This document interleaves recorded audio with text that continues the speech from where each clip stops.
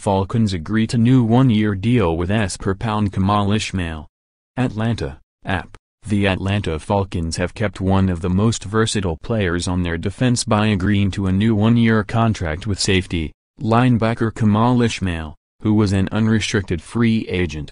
Ishmael, who began his career at safety, saw more time at linebacker last season, and his versatility increased his value. He had 22 tackles in one sack in 16 games, including one start. He started four games in 2016, when he had 49 tackles.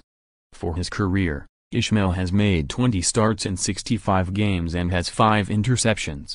Underscore for more NFL coverage, http colon slash slash www.pro32.app.org and http colon slash slash www.twitter.com slash app underscore NFL.